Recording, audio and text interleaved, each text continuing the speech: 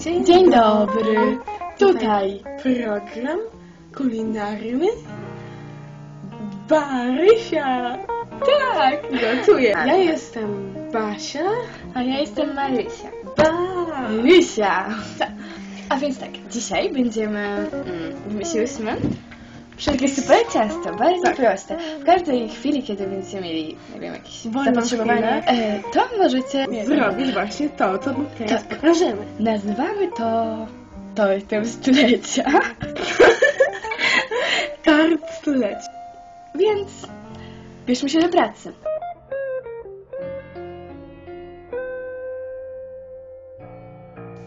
Oto Potrzebne są składniki.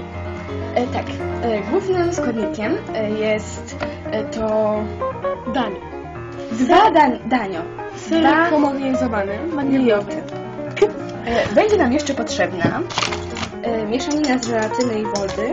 Dałyśmy tutaj równo dwie łyżeczki, bo daje się mało żelatyny, nie daje się pięć.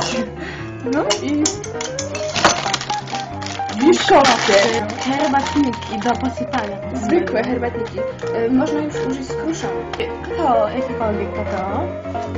I czekoladę gorzką. Do roztopienia. E, No i jeszcze jakieś podstawowe przyrządy. Mieszacz. A więc zaczynajmy. Tak. Pierwsze co robimy, to bierzemy miskę, otwieramy serek,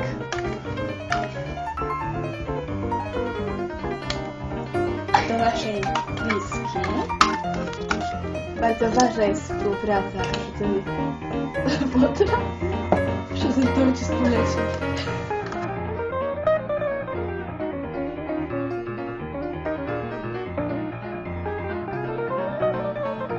Następnie najpierw e, bierzemy cztery łyżki kakao.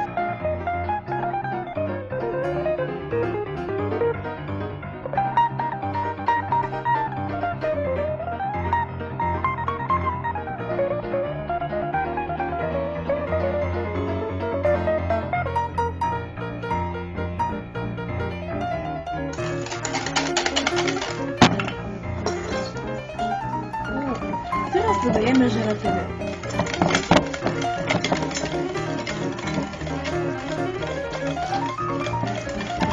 Wtedy masa zaistnieje pod dodaniem jej do lodówki. Uważajmy. Uważajmy. E, Bierzemy tak gdzieś około czterech herbatników, ale to według uznania. Bierzemy i skruszamy je.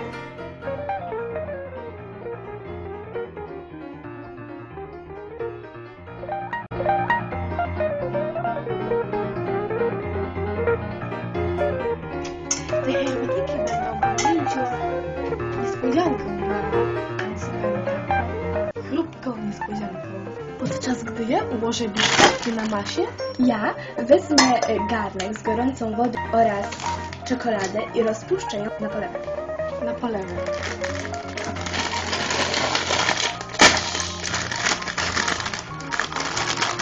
Wkładamy biszkopty na wierzchu masy powstałej w wyniku zmieszania jej ze składnikami, które zmieniliśmy wcześniej.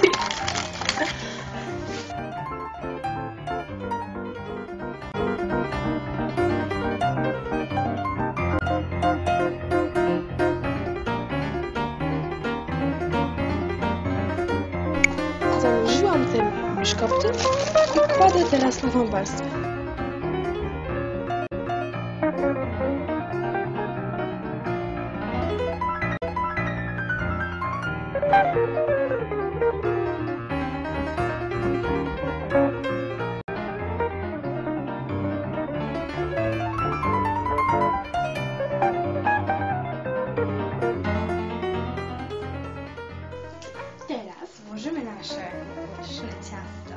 Tort stulecia. tort stulecia do lodówki. Wkładamy do lodówki na dwie godziny. Nie, tutaj żadna lokalizacja produktów. Właśnie wyjmujemy ciasto z lodówki. Nie mogę się czekać. To takie emocje. Basia właśnie je wyjmuje. O, wygląda smakowicie. Tutaj przygotowałam talerze, łyżeczki i nóż. Tort stulecia. Taki tort, aż tort.